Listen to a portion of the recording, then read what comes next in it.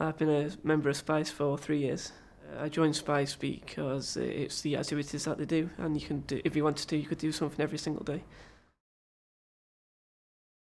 I've done the, uh, I mainly go to the Dragon Boat Racing weekend, but I've done the Adrenaline um, events, which is the uh, mile long zip wire, and um, Go Below, which is uh, about seven hours in uh, a mining cave complex.